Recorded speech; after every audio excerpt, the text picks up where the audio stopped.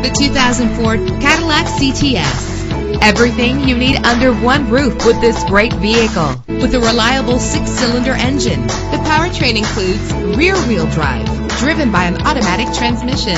Brake safely with the anti-lock braking system. Heated seats are a desirable comfort feature. Let the outside in with a power sunroof. Plus, enjoy these notable features that are included in this vehicle.